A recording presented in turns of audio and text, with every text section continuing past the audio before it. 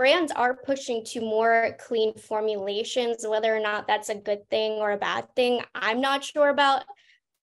I don't choose products in particular for clean beauty, but I think it's a marketing tactic that a lot of brands are pushing right now that I think a lot of people might get on board with eventually. Yeah. There's no product out there that are meant to harm you in the market. So I think um, as a consumer, I would love for everyone to be a little bit more conscious or a little bit more aware of all these kind of claims.